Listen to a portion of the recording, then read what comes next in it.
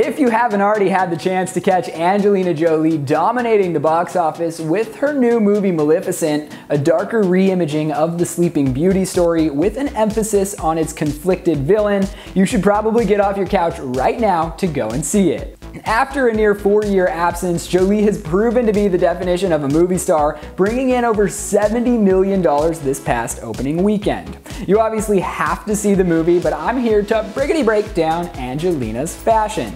As you can tell, this blue carpet was insane. Overall, she looked great, but it just wasn't the jaw-dropping leg slit that I was praying for. She stayed safe with a gothic black Versace gown while playing into her character of the movie with extravagant gold jewelry.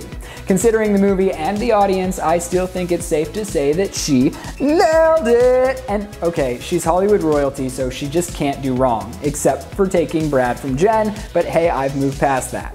While we're on the subject of fashion, did you happen to catch Jolie's fashion mix-up at Brad's premiere of The Normal Heart? Holy powder.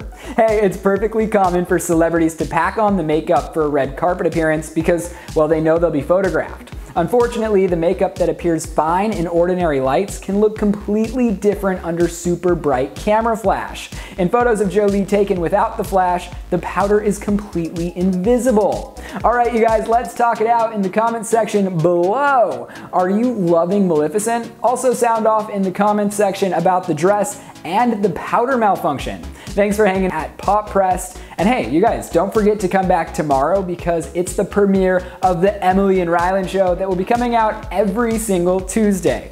Bye guys.